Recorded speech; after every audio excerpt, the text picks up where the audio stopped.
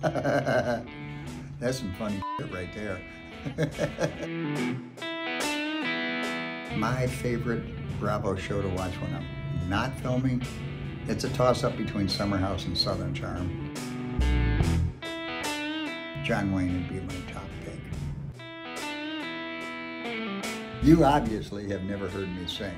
Southern Cross, Crosby, Stills, Nash Young is probably one of my favorites.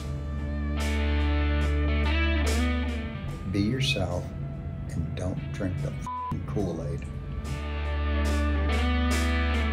My favorite emoji probably hasn't been invented.